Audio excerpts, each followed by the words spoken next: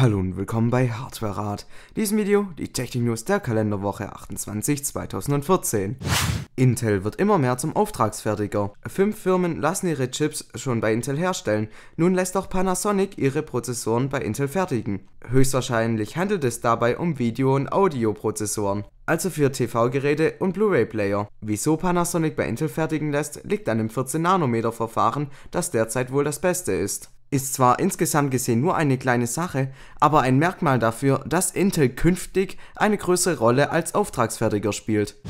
Deutschland wird fest von Android regiert. Prozentual gesehen nutzen immer mehr Deutsche Android-Handys. Mittlerweile 80,9%, iOS lediglich 12,1% und Windows Phone 5,9%. In anderen Ländern sieht das etwas anders aus. In der USA nutzen 32,5% iOS, was fast das Dreifache wie in Deutschland ist, und in Großbritannien noch 29,4%. In Japan nutzen sogar mit 51,7% mehr Leute iOS als Android. Windows Phone ist in jedem Land am schwächsten vertreten. Der Höchstwert ist in Frankreich mit 10,5%, in Deutschland nur rund 5,9% und in China gerade mal 0,6%.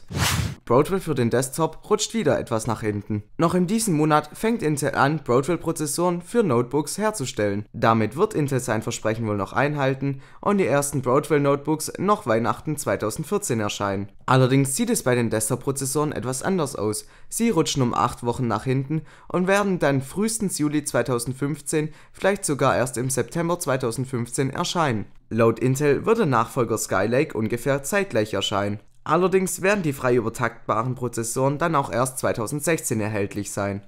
Der Release von Nvidia Maxwell-Karten rückt in greifbare Nähe. Laut Zollinformationen aus Indien wurden Maxwell-Chips aus Taiwan in die Nvidia-Niederlassung in Indien geliefert. Dort wird dann wahrscheinlich mit den neuen GPUs rumgetestet. Aus der Zollinformation ist schon herauszulesen, dass die GPUs im Stepping A1 sind. Sie sind also schon eine überarbeitete Version. Allerdings wird meistens erst zum B-Stepping released, manchmal aber auch schon zu A2 oder A3. Der GM204-Chip soll bis zu 2560 Shader-Einheiten haben, was deutlich mehr ist als der alte GK104-Chip mit gerade mal 1536 Shader-Einheiten. Mit 2560 Shader-Einheiten der Maxwell-Architektur sollte die Grafikkarte dann auch gleich stark oder etwas stärker als die GTX 87 Ti sein. Der vermutliche Follows-Bau GM210 soll dann wahrscheinlich erst zur GTX 900er Reihe erscheinen. Mit dem GM204-Chip werden dann wahrscheinlich die GTX 860, 870, 880 und 880 Ti bestückt sein.